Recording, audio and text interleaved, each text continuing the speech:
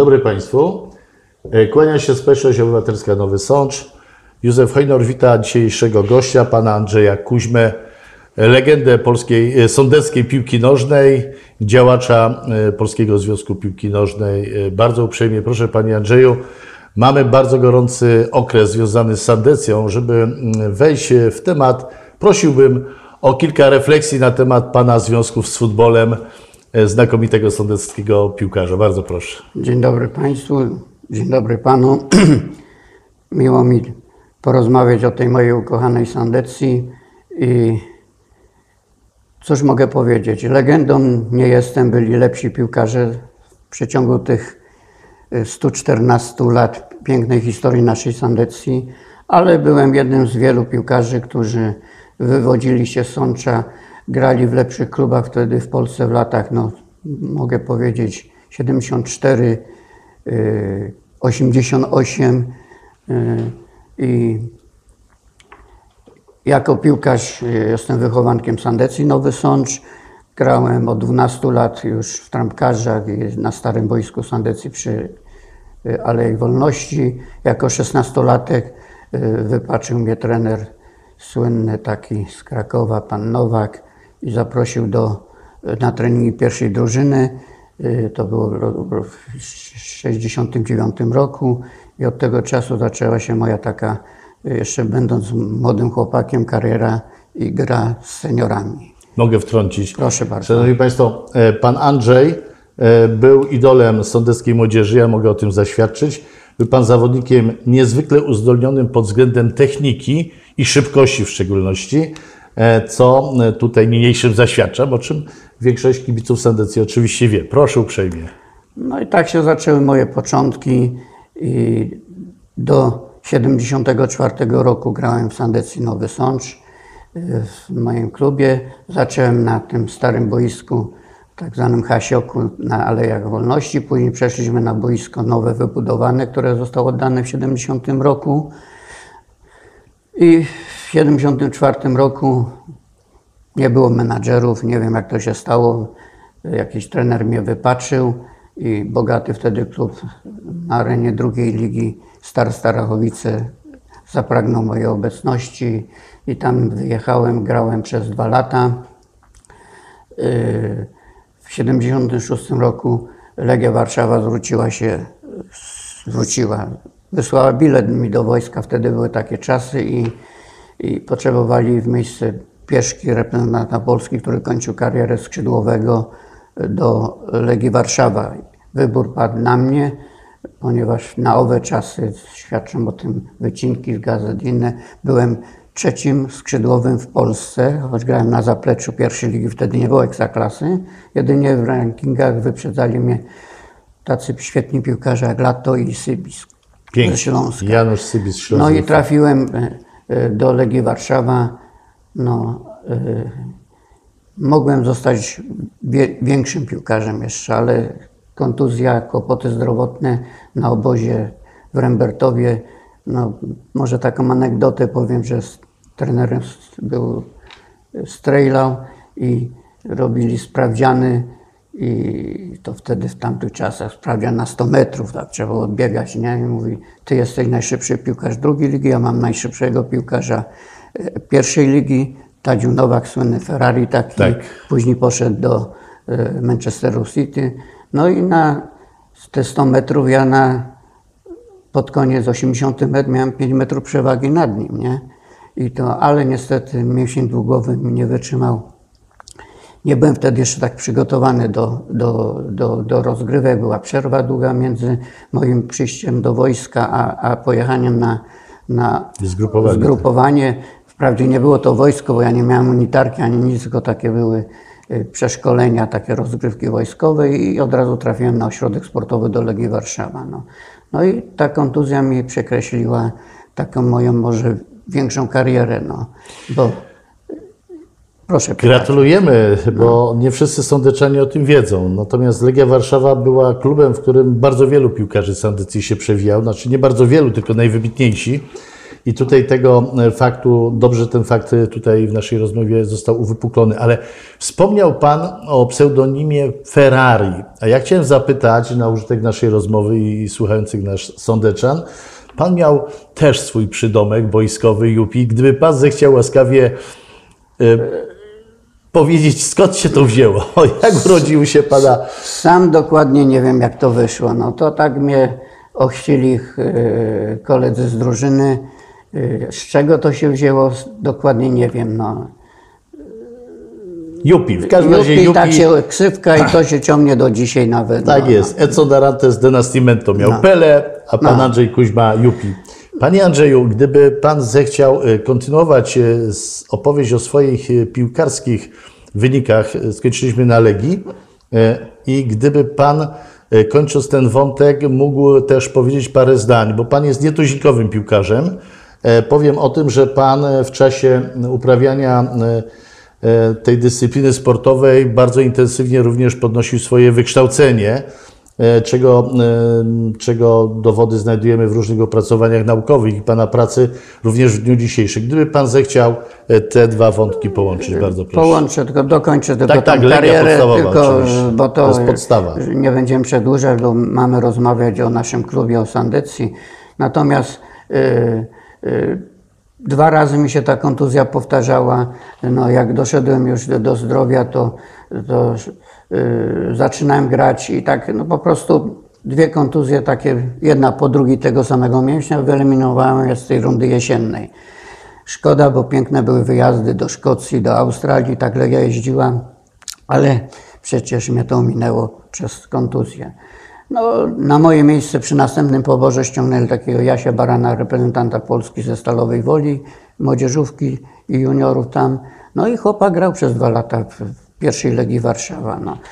A ja grałem później w drugiej drużynie, cały czas trenowałem z takimi piłkarzami jak Ćmikiewicz, Dejna, Mo- Mowlik, trenerzy fantastyczni, y, Strejlał, Władysław Stachurski no Stachurski właśnie. trenerem był wtedy już, jak ja, mnie tam przyjęli właśnie, notabene później mój taki przyjaciel do końca swojego życia, bo spotykaliśmy się na kursach trenerskich w Warszawie i tak dalej. No ale później po wojsku wróciłem na, na pół roku do Starachowic. Jeszcze po drodze wypożyczyła mnie Lubliniaka, walczyła, bo ponieważ też wojskowy klub, walczyła o drugą ligę z Radomiakiem. Byłem 6 miesięcy w Lubliniance. Wspaniały też okres taki, poznałem też fantastycznych tam piłkarzy, kibiców. No, przegraliśmy z Radomiakiem y, ostatni mecz, bar, który decydował o awansie y, w Radomiu. No, w 90 minucie nas sędzia, można tak powiedzieć, załatwił. Radomiak wygrał, nam wystarczył remis. No. Później grałem w Siarce Tarnobrzeg przez 3 lata. Też miałem fajnych kolegów. Klub bogaty na owe czasy, tak samo Siarka walczyła o te, zawsze grałem w tych klubach, które walczyły o awans do pierwszej ligi. Później stamtąd przeszedłem do BKS-u Bielsko-Białej, tak samo bardzo taki fajny klub na zapleczu, no robili maluszki też produkowali, tak wtedy już nastała Solidarność, no ale też nie udało nam się awansować do drugiej ligi, tam spotkałem trenera Piechniczka, miałem możliwość się zapoznać z jego warsztatem i, i to notabene, który mnie ciągnął później do Odry no ale to był mój drugi błąd. Nie skorzystałem z oferty. Zostało mi pół roku studiów w Warszawie. Jeździłem takie, miałem zaoczne studia, że cztery dni w tygodniu musiałem być A gdzie Pan studiował? na? WF-ie w Warszawie, ale Warszawie, to powiem. No i tak się nie skorzystałem z tej oferty, szkoda. No i I na tym się kończyła Pana kariera zawodnicza? Nie, wróciłem do Sącza. W 1983 roku, po, po 10 latach gry na tym wróciłem, już miałem 30 lat i trener Kurdziel był tu trenerem wtedy w Sączu. Ja przyjechałem już tu, miałem być trenerem zastępczym jego, ale on miał taką dziwną jakąś specyfikę, że uważał, że zawodnik po 30 już się nie nadaje do grania.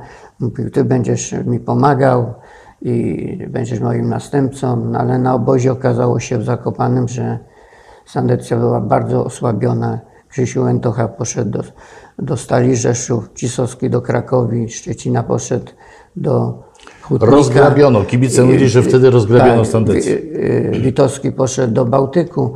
Y, Mówili, a Sandecja się nie utrzyma, spadnie ligi. Na szczęście na obozie trenowałem z nimi, grałem i po raz pierwszy trener Kurdziej się złamał i kazał jechać działaczom, żeby mi z Bielska przywieźli uprawnienia do Sącza. I tak zacząłem z powrotem grać.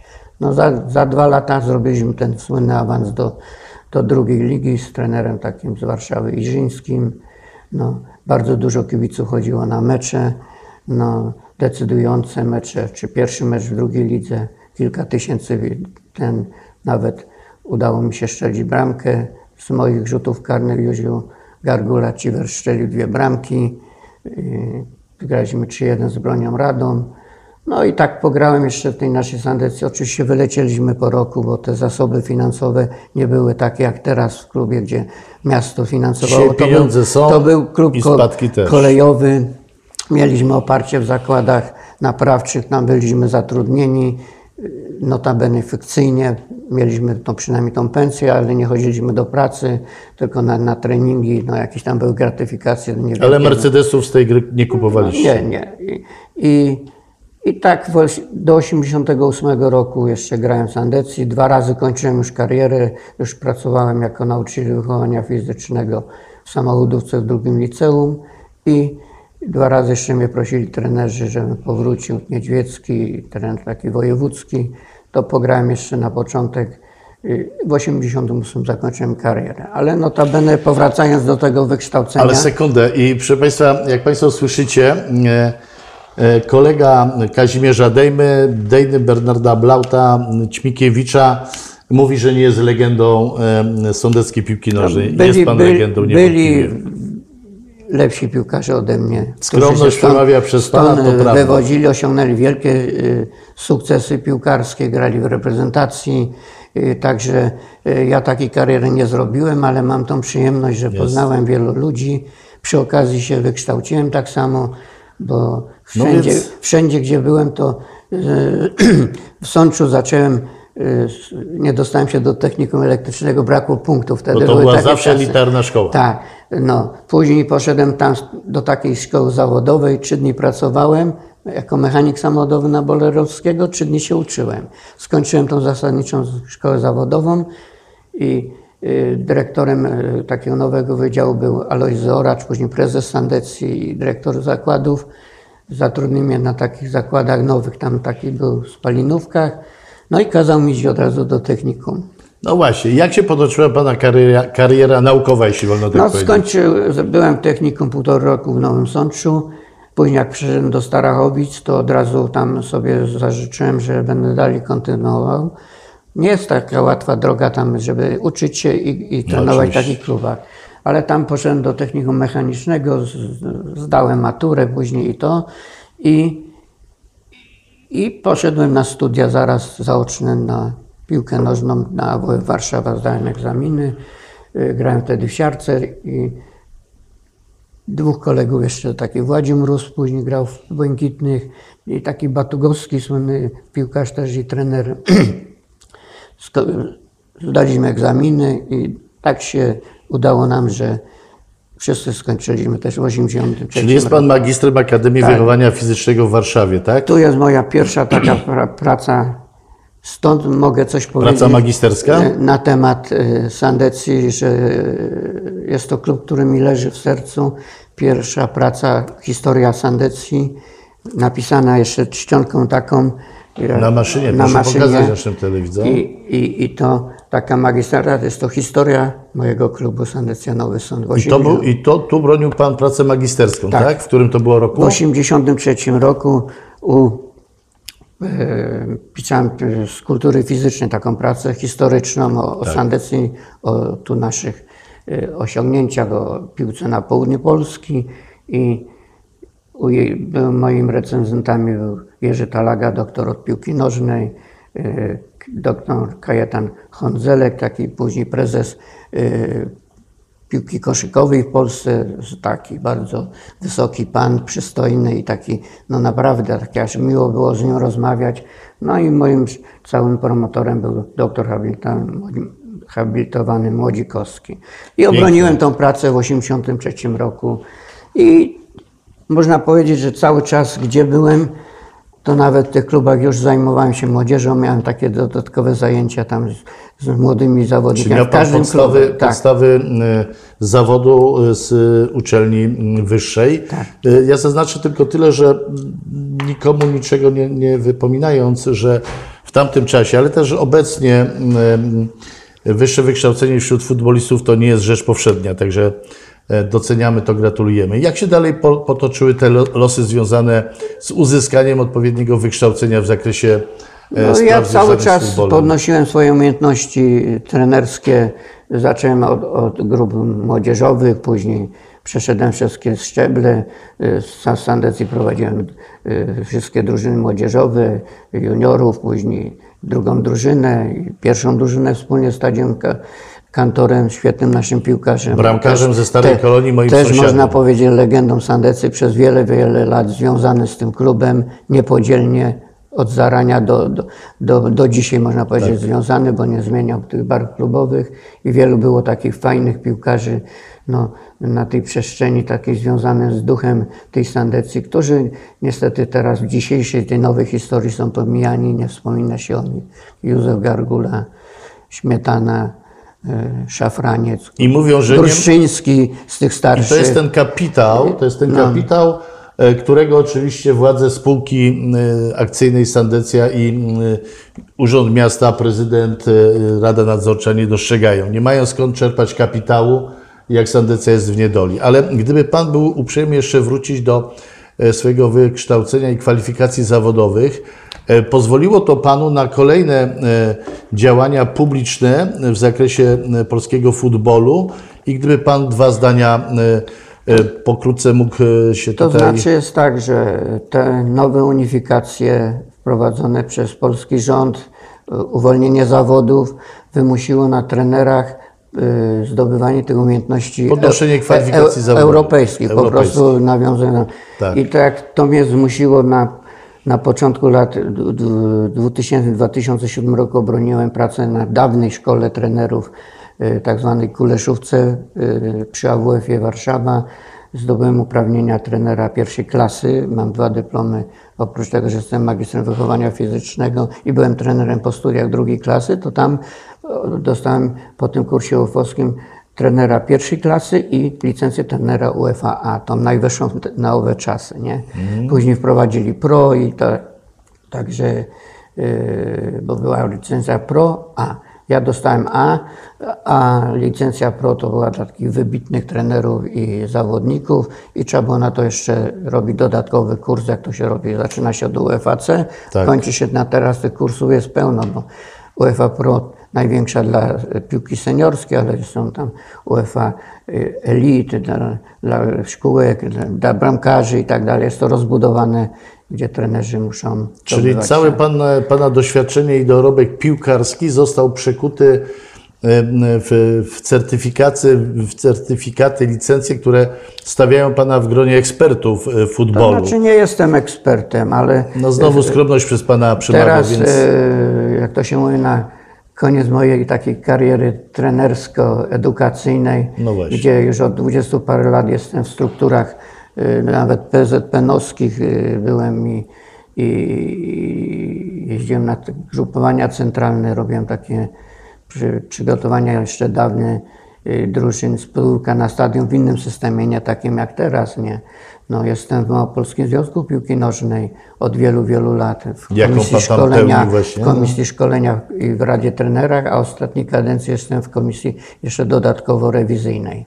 Natomiast y, też tu w związku od wielu, wielu lat jestem trenerem, ko- ko- koordynatorem jeszcze jak był duży OZPN y, na zasięgu Podhala, Liman, Nowy Gorlic i Nowy Sącza poprzez dzisiejszy Okręgowy Związek, Pi- Podokręg Piłki Nożnej w Sączu, gdzie przez rok niecały byłem y, pełniącym obowiązkiem y, z nadania Małopolskiego Związku, jeszcze przez ówczesnego prezesa Niemca, a przy ostatnich wyborach ja miałem przeprowadzić demokratyczne wybory, był to okres covidowy.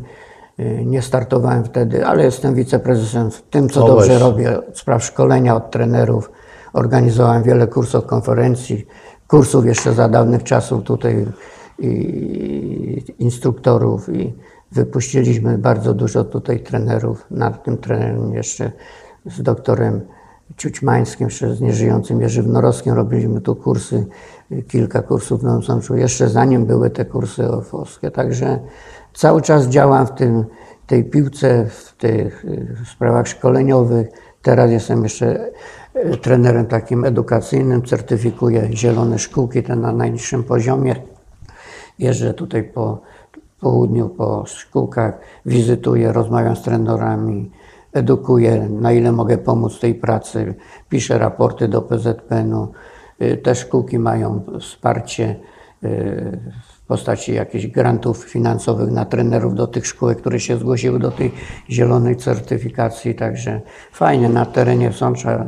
Helena w tej chwili jest, jest Barciszanka, y, jest y, z tych naj- takich klubów y, Mineralni, Biecz, tam z Gorlic. No, no jeżdżę, no mam y, 21 szkółek takich tutaj Panie. Andrzeju, y, Pana dynamizm z boiska przeniósł się na tą niwę edukacyjno-szkoleniową. To wielkie osiągnięcie i to też y, świadczy tylko o tym, że Sandecja y, bardzo wiele y, ról spełniała, między innymi wychowawczych, bo tak jak wspomniałem, Pana kariera zawodnicza, potem przeniesiona na odpowiednie wykształcenie pozwala Panu teraz na współudział w podnoszeniu e, poziomu piłkarskiego w Małopolsce, ale również e, w kraju. E, w- Padło tutaj nazwisko pana doktora Jerzego Wnorowskiego, jeśli pan pozwoli. Ja pamiętam, mieszkając jeszcze na ulicy Słonecznej, że byliście państwo, ja byłem sąsiadem pana Jurka e, Wnorowskiego i właśnie państwa znajomość i przyjaźń, można tak powiedzieć, e, jest e, odnotowywana wtedy przez dzieci jeszcze, bo wiedzieliśmy o tym, że wy już e, bardzo dobrze kopiecie piłkę i byliście e, autorytetami. No i niech tak zostanie dalej. Każdy, kto... No, jeszcze dołożę Proszę do tego. bardzo, wspaniały to człowiek, była, sąsiad, pan to Jerzy była, to była y, słynna taka dzielnica na Kaduk Nowy Sącz, nie? I stąd się wywodzi wielu świetnych piłkarzy z tego czasu nawet. Ale nawet Jerzy. Wynorowski, No y, y, y, nie mówiąc, Jurek Zawiślan, Wiktor Zawiślan, Wacek Grądziel mieszkał. Tak, ja na- mieszkałem dokładnie. róg Kunegundy i Zygmuntowski, gdzie teraz te trzy bloki są takie z tego Tak. karbonu, to ja tam mieszkałem. Dalej był Wacuś Grądziel po drugiej stronie. Y, No i Stara Rzymkowie, Kolonia. Rzymkowie, Stara Kolonia. Proszę Tadziu bardzo. Kantor stamtąd pochodzi. Pan Wrona Tadeusz przecież, Wr- Wrona pan to jest Żabecki. starszy, to jest st- starsze Oberianek, pokolenie. ale tak, jednak, to jest tak? dzielnica taka, Ale idźmy dalej, Pekin. no... a- Janusz Świerat, no. tak? Też Legia No, Warszawa notabene. Janusz Świerat. Przed Januszem to tam z Pekinu był najsłynniejszy piłkarz. Tak jest. Długie Wo- włosy niż Jurek. Wojnecki. Tak y, jest. No, Jurek Wojnecki. Kita Świerat. Ten, Tak, ten, Kita, on miał no, pseudonim Kita, tak jest, no, oczywiście. Świerat. No także to była takie region. Ale mamy, mamy jeszcze jednego pana e, Janusza Świerada, który też e, właśnie grał i to z wielkimi sukcesami w Legii Warszawa, ale to też jest trochę inna epoka, młodszy, prawda? E, Pan Janusz Świerat, e, do dzisiaj zresztą związany z futbolem też, A to Janusz grał w wielu klubach, bo grał w no i też ma znakomite przygotowanie zawodowe, profesjonalne Tak, to jest pierwszy Euro- trener, który ma tutaj na naszym terenie Tak. największe uprawnienia. Oczywiście. I dziwię się, że nie dano mu dłużej tu pracować w Sandycy jako trener. I No więc to jest właśnie. wspaniały chłopak. I, i, i, No uznawany ale- za jednego z najbardziej kompetentnych, e, najzdolniejszych, ale e, świetnie m, wykonujących swoje zawodowe uprawnienia. No miejmy nadzieję, że, e, że Mamy e, wie, wielu fajnych trenerów młodych i, i, na naszym terenie, czy bliskości. Szkoda, że się nie korzysta z ich doświadczenia. No. dojdziemy do tego. Panie Andrzeju, e, dziękuję bardzo serdecznie za tą, e, za tą historyczną sprawę. Jeszcze gdyby Pan zechciał pokazać naszym widzom e, to wydanie, tą publikację i powiedzieć, e, e, kogo Pan tam, e, że tak powiem, dobrze znaczy, wspomina z fotografii zdjęć. Bardzo To proszę. jest Złota Księga Sandecji wydana To w może 2000 pokażmy do w kamery. 2000. Tym. Tu jest wiele postaci ze sportu nowosądeckiego i związanych z Sandecją. Wydana przez nieżyjącego już Daniela Weimera, Świetnego mojego, mojego przyjaciela. Ze Starej Kolonii z 1 maja. No, i, I tak samo był Jerzy Leśniak wtedy, no, Jurek Cebula. Z Żółkiewskiego. I taki Jerzy Cebula, dalej Gryźlak, aktywny dziennikarz. Taki był y, On jest u pana Molendowicza teraz takim honorowym dziennikarzem, e, też z krakowski jest dziennikarz. No, Pan Dawid Kulik? nie, nie. To, to drugie nazwisko? To jest tam jest taki honorowy e, teraz już.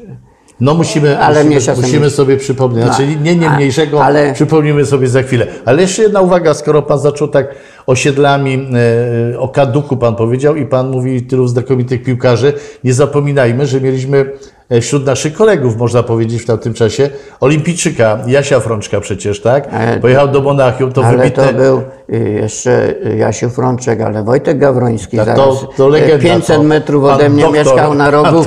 Grodzka, tam y, y, Kunegundy i stronę dzisiaj- jednostki wojskowej, tam rodzinne jego Do domy. dzisiaj, oprócz tego, że fantastyczny sportowiec, do dzisiaj wybitny No Lekarz. lekarz sportowy, zresztą świadczący usługi różnym, y, w różnych dziedzinach, To dyscyplinach było, sportowych. to było tak, jeżeli można do tego doło, cudne. dołożyć, to były piękne czasy, które się niestety nie wrócą, tak moim zdaniem. Wrócą się. Kajakarze, piłkarze, y, piłkarze ręczni, lekotleci wspaniale Tak. w Sączu, z, na czele z Pieczakiem, Buczerem, i, i tak, którzy pierwszy raz y, ponad dwa metry skoku z wyż. Tak. To byli ludzie, z którymi później nawet zaczynałem pracę, y, jako pierwszy moja praca WF-isty w samochodówce, miałem wspaniałych naśladowców. Szczepanik taki, Adaś, Tak jest, oczywiście. y, y, Mężyk Władziu. Mój trener siatkówki, tak. e, dalej, Pan doktor Władysław Mężyk. Tak, Tadziu Pieczak, był taki Misiewicz, był no, wi- wielu, Smałk, Smołkiewicz, tak. To byli tacy wychowawcy, nauczyciele WF-u, którzy y, zajmowali się innymi też dziedzinami, z tymi Dokładnie. swoimi, którymi, y, ale czerpamy z nich. Poświęcimy temu oddzielny program, bo skoro Pan dotknął na przykład e, takich nazwisk jak Pan Szczepanik, lekkoatletyka, czy Pan doktor Władysław Mężyk, to musimy tutaj pod jednym zdaniem tylko powiedzieć, że byli wychowawcami fantastycznych zawodników, a jeśli chodzi już o samą siatkówkę, to reprezentantów kraju i to są rzeczy, e, które na trwale wpisują się w historię miasta Nowego Sącza, o czym ciągle musimy mówić i przypominać. I jeśli Pan pozwoli, to teraz tego wysokiego C e, przeszlibyśmy na przyziemne sprawy. Ta e, sandecja, która jest historią miasta Nowego Sącza, nie wpadając w euforię, ale e, to trzeba zaznaczyć, bo to są również kwestie związane z historią, z patriotyzmem, z kulturą, z ogólnym pojęciem, e, prawda, mm, wolności, no bo przecież sandecja to jest twór prawda, który pojawił się dzięki Sokołowi mm, i e, tutaj sprawy wolnościowe były fundamentalne. Tak, mam to wszystko w pracy magisterskiej napisane. Właśnie. Cała Mm. historia. Pozwolimy sobie jednak reaktywować te kilka rzeczy po to, historycznych publicznie, po to, żeby mm, dać ducha i siłę do tego, aby wyjść z tego impasu, w którym się Sandecja teraz znalazła. E, Mamy taką to przedziwną sytuację, że mamy degradację do trzeciej ligi od e, wielu dziesiątek lat. Rzecz bardzo przykra. E, Nie mamy oczywiście ze strony właściciela żadnych reakcji. Nic się w ogóle nie stało, uważają. A, I teraz jeszcze mają jakieś dziwne, różne pomysły związane z prywatyzacją czy ze sprzedażą e, tych aktywów e, sądeczyzny. Ale zatrzymajmy się na razie na, e, na tym, na, na ocenie. Co Pana zdaniem jako eksperta, Pan pozwoli jednak z piłkarskiego, mogło być powodem, że Sandecja znalazła się w tak fatalnej sytuacji i mm, zanotowała jeden z najsłabszych w historii wyników ligowych? W tej chwili no, nie czuję się takim ekspertem, w sensie e, jako od strony kibica może. Nie jestem Tak, tak, oczywiście, blisko, oczywiście, nie że jestem od wielu lat tak blisko Oczywiście, Sandecji, chodzi- jak byłem kiedyś. Przy tej zmianie e, strukturalnej w Są- w Sączu i zmianie władz e, samorządowych, no e, nie jestem już tak blisko Sandecji w Rozumiem. tych, tym i e, nie wiem, No, nie wiem dlaczego, ale jestem kibicem.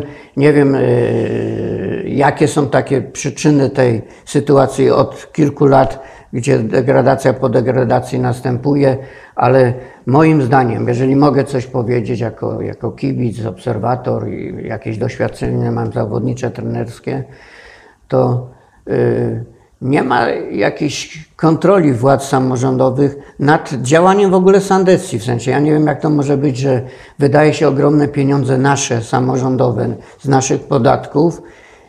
Nie wiem, czy się nie kontroluje tych wydatków. Powołuje się jakieś twory w, tej, w tym klubie Sandecji do zarządzania, do budowania stadionów, y, straszne rotacje na stanowiskach. Y, Ja tylko powiem odnośnie piłki nożnej, no bo nie będę mówił o budowie, bo to w ogóle jest coś niepojęte dla mnie czy coś, ale y, w zarządzaniu tym klubem odnośnie sportowym, y, zatrudnianiu jakichś menadżerów z Polski y, miały być zbawieniem dla Sandecji. Pamiętam jak prezes taki przyszedł z Polski, który działał w PZPN-ie, w Lubinie, zagrałem sobie tam Kapełko, pan Kapełko, Tak. z trenerem Kawarskim, mieli zbawić Sandecję, pozyskać sponsorów.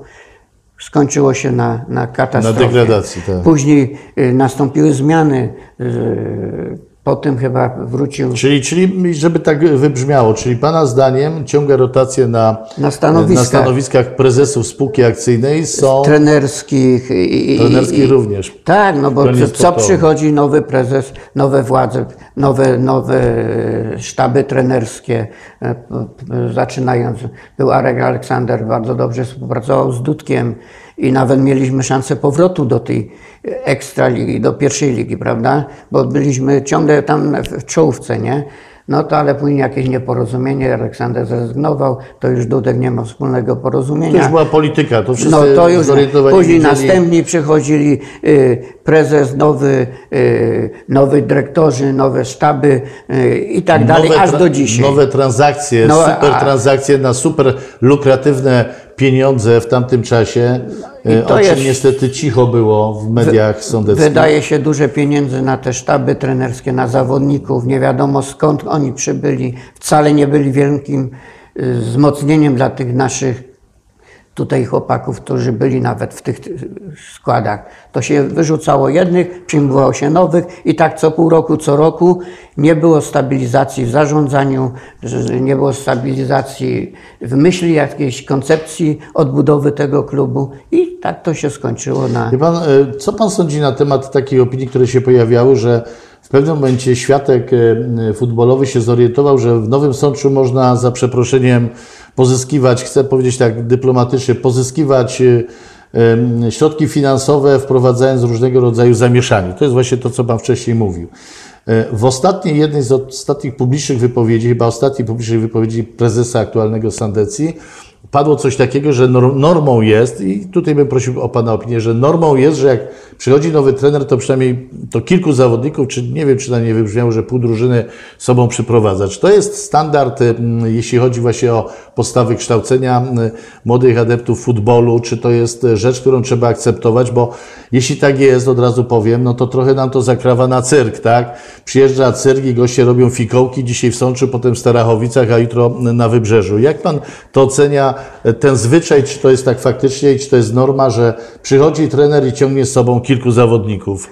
Moim zdaniem, Nie wiem po co, jeżeli, dlaczego. jeżeli mogę wyrazić swoją opinię, nie, ja, proszę. ja nie wchodzę w kompetencje pana prezydenta, czy zastępcy, czy, czy Rady Miasta, ale to oni kontrolują, oni zarządzają środkami, No nie prezes, nie Rada Nadzorcza, bo wiadomo, że to jest, musi być y, opinia, ostatnia należy do władz miasta.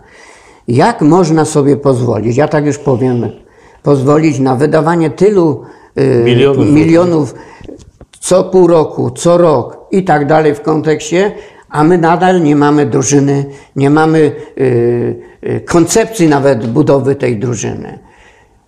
Ja już dawno, dawno jeszcze jak y, prezesem był y, pan Danek i pan Szubryd, jak, jak jeszcze wcześniej, y, gdzie był wielki błąd wtedy, ale była ekstraklasa, nie? Ściągnęło się całą drużynę Kmity Zabiezów ze sztabem, ze sponsorami. No cieszyliśmy się, był później awans. Trener przyszedł, ten awans zrobił taki pan z Łodzi i trener Mroczkowski. Jakoś to funkcjonowało. Tyle środków nie mieliśmy, no ale ciągle się grało na ob- obcych boiskach. Ile to się wydawało naszych pieniędzy i prywatnych wtedy w- czasie, no bo to ludzie też zakładali, pan Szubry, pan Danek, jest, jakieś inwestowali. Tam, i, i, ale oni tym żyli, bo to, to był ich klub. A dzisiaj jakoś to jest tak, że niby się interesują władze miasta, niby pomagają, dają ogromne miliony, ale jakoś to się rozchodzi. Jakby to zliczyć, ja nie jestem tak blisko tego, nie, nie, nie, wchodzę w te kompetencje. To grube miliony na przestrzeni tych paru lat są wydawane, a nie ma żadnego efektu. Jak to się dzieje, że, że przychodzi, nie powiem, jakiś tam prezes, który nie jest żadnym prezesem, gdzieś tam znany, czy, czy, przychodzi i on ściąga sobie sztab trenerski i to Nawet trzeba ludzi- ludziom płacić, nawet- zawodników, tak. wyrzuca się tych, którzy byli. No. Z każdego roku grania, od, dajmy na to 10 lat, tak mówię, zostawić naszych najzdolniejszych piłkarzy, a mamy ich tu mnóstwo i mieliśmy w Ekstraklasie, po dwóch zostawić w kadrze, to już byśmy na dzisiaj mieli z 15-14 swoich fajnych chłopaków. Mm, dokładnie. A do, dokupić czterech, pięciu, dajmy na to, którzy by dawali tą różnicę na in plus, a nie odwrotnie. Dokładnie. I nasi się rozchodzą po Polsce, później znikają w ogóle wielkie talenty piłkarskie, a my nadal nie mamy drużyny, a na to jest jakieś przyzwolenie. No, przecież jak ja bym był zarządzał miastem czy,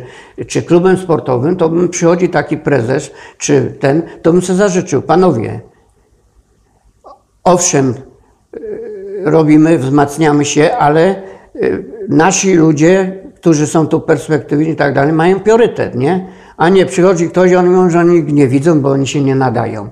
Na jakiej podstawie? Bo mają w zanadrzu swoich zawodników do ściągnięcia.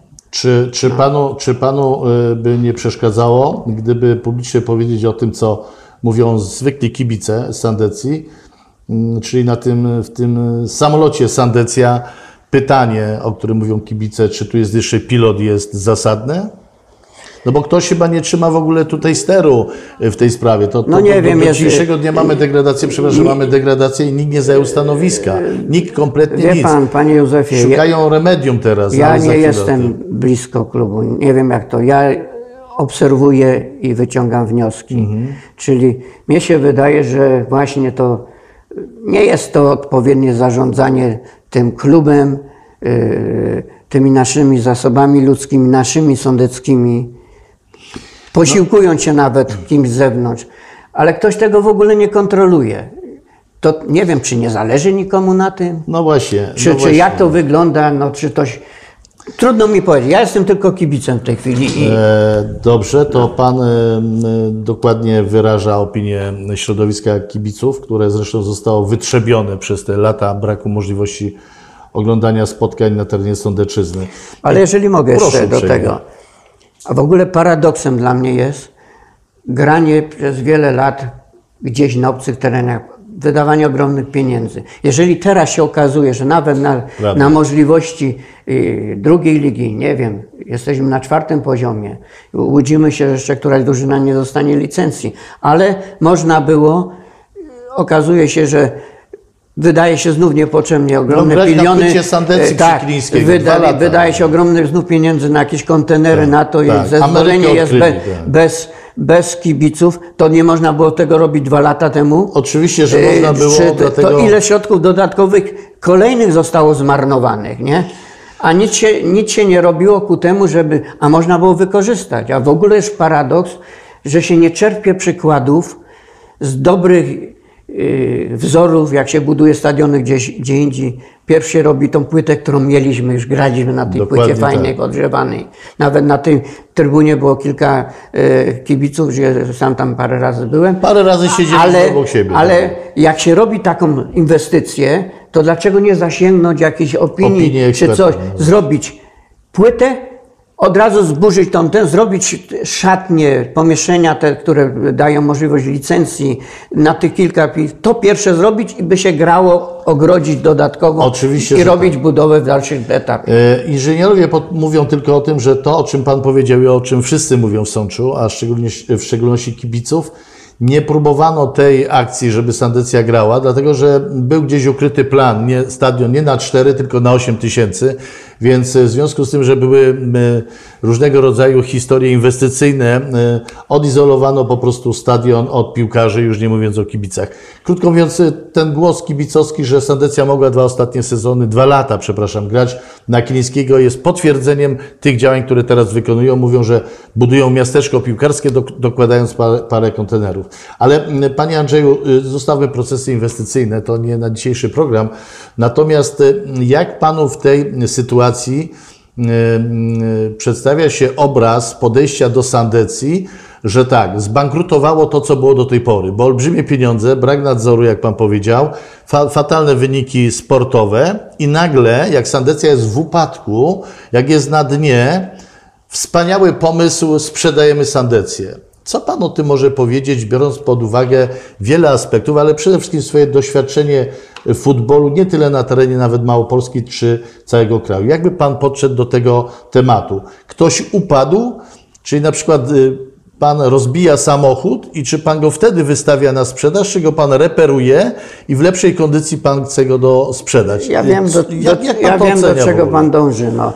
Y, jak to się mówi, no, nawet z życia, to jeżeli ten klub, który był marką, który był wart bardzo dużo dawniej, kiedyś, teraz jest, jego wartość jest, on ma tylko wartość historyczną. Łatwo się pozbyć takiego e, klubu i, chętnych się znajdą, jeżeli e, zainwestuje ktoś małe pieniądze. Tylko jedno mnie dziwi, że że nagle teraz, a dlaczego to nie zrobiono rok wcześniej, dwa lata wcześniej, nie, nie szukać inwestora jakiegoś strategicznego i, i, i wtedy i, i ten. Ja tego nie rozumiem. Nie jestem biznesmenem, nie jestem jakimś Większość... menadżerem piłki nożnej, czy, ten, czy nie mam doświadczenia w zarządzaniu zasobami takimi samorządowymi i tak dalej, ale wiele rzeczy nie rozumiem i, i, i dalej nie rozumie, co to się dzieje. Panie Andrzeju, jeśli e, ludzie e, wiedzący tak dużo o futbolu, ludzie posiadający e, bardzo wysokie wykształcenie i wiedzę w tym zakresie nie rozumieją, to co mają rozumieć zwykli kibice w mieście Nowym Sączu? I Jeszcze powiem, do tych kibiców proszę. jedno zdanie. Szkoda mi bardzo tych kibiców, których Sandecja miała rzesze. Dawniej, gdyby tak było, jaka jest dzisiaj sytuacja, to nie wiem, były takie sytuacje, że były naloty kibiców na ratusz, na to, manifestacje, domagali się poprawy y, sytuacji w klubie. Teraz jakoś nie wiem, czy to, że gramy ciągle na wyjazdach, nie ma tych kibiców, jest garstka tych kibiców. Y, no ale to, to kibice nie wywierają presji też na władzę, na, na, na drużynę, yy, nie ma takiej presji. No to wszystko to zanikło, tak jako się rozmyło. No. Psychologia sportu i psychologia społeczna będzie teraz użyteczna. Po prostu wyjałowiono, wyjałowiono na terenie Sądeczyzny i Sącza ten element, który Pan tutaj sentymentem przedstawia, prawda? Pan przychodzi do nas z wycinkami, ze zdjęciami, Pan mówi o, o tym, jak Sącz żył, Pan E, zakulisowo. My nie chcemy upowszechniać tych informacji, bo one mogą źle służyć na e, ocenę kiedysiejszych organizatorów imprez sportowych, ale sam Pan mówi, że to były imprezy liczone w tysiącach. Jak Sandecja na przykład awansowała do Ekstraklasy, to e, ponoć po 3000 osób tam było. Ale, ale, ale ja powiem, ale, że było dużo, dużo więcej. Dwa razy tyle chodziło. Ale, ale licz, życzmy sobie właśnie, żeby mm, wreszcie kiedyś ukończony stadion, ale nie za niebotyczne pieniądze i i to, co się w ogóle przedstawia teraz, y, kosztorys inwestorski 30, a ktoś proponuje 80, to, to są bardzo groźne sytuacje. Ale to jest w ogóle ale, dziwne, bo jak cały czas mówiono, że stadion ma, tak przynajmniej ja wiem z prasy, 80% mm. jest zrobione. Tak. No to teraz, to ile tych brakuje teraz naprawdę Panie Andrzeju, procentów? to jest y, bardzo brzydka sytuacja. Nie no. rozmawiamy dzisiaj w programie na ten temat. Zostawmy to, niech się eksperci tym zajmują i tym, którzy się przyglądają tych, tych, tym rzeczom. Natomiast E, ważna rzecz jest e, taka.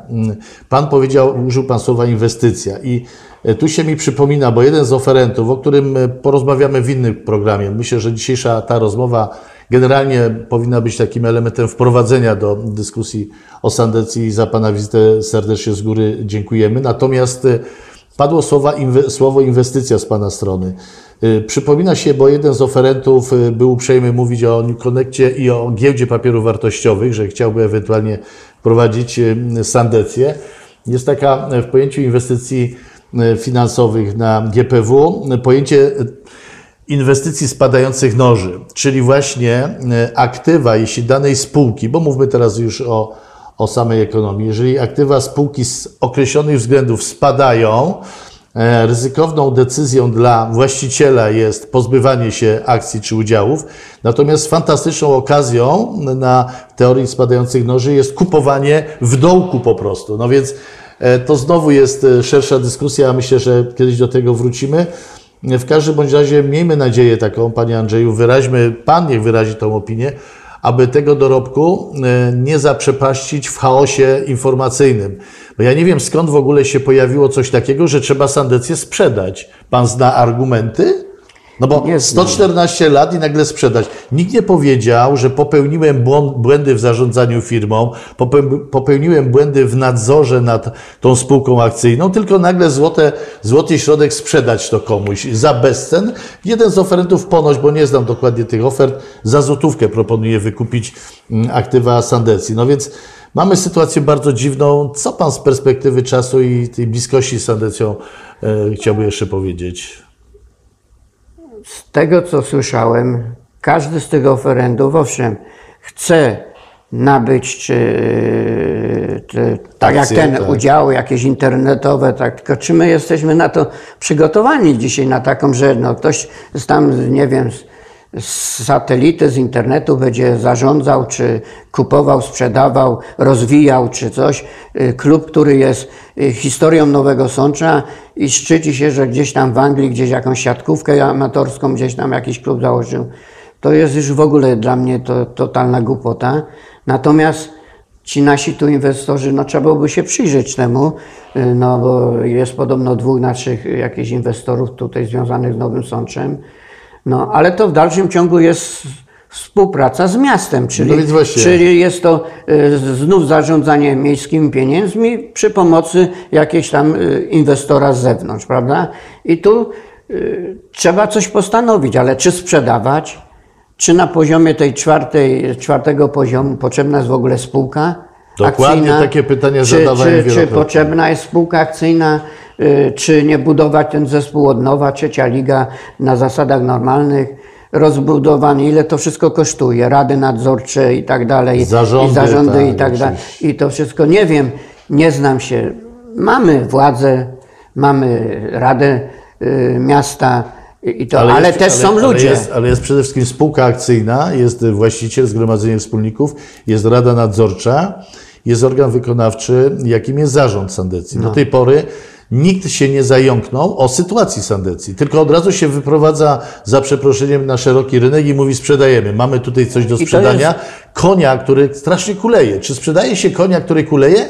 Czy sprzedaje się konia, który jest e, taki super atrakcyjny dla kupującego? Powinno się sprzedawać wtedy, kiedy z tego mamy jakieś zyski, prawda? Jeżeli ten klub, który był klubą i jest historią piękną Sądeczyzny, nie? naszą, to sprzedawać go wtedy, kiedy on jest na dnie, dołku, tak. w dołku, szkoda, szkoda. Odbudujmy tą sytuację Dokładnie. i wtedy szukajmy sponsora. Wykończmy ten stadion. Zróbmy infrastrukturę dla akademii, dla młodzieży, dla pracy i wtedy szukajmy inwestora i sprzedajmy, a nie teraz. Jak teraz wielu się znajdzie. Panie Andrzeju, y, bardzo serdecznie dziękuję za te mądre i odpowiedzialne słowa. Mądre, bo wynikają z Pana wiedzy, doświadczenia i praktyki y, współudziałów w Polskim Związku Piłki Nożnej. Wynika to również z tego, że Pan sercem związany z Sandecją bronił, pisał i bronił pracę magisterską na temat historii Sandecji. Dlatego Pana słowa w tej materii dla mnie, myślę, że również dla nas, dla słuchaczy są bardzo istotne. Jeszcze jedno zdanie Ale dołożę, proszę no. łaskawie. Y, Jedno mnie tylko dziwi, że y, ludzie, którzy zostawiali tyle tu potu w sercu, nawet jeszcze są w tej obecnej drużynie piłkarzy z takim sercem do Sandecji jak Szufryn i, Tak. i tam inni ludzie, czy tamten, ale ci, którzy to obserwują z boku, nie możemy się z tym pogodzić, że taka jest sytuacja, bo to jest dziwne, ale ja pracując w różnych klubach kiedyś czy gdzieś.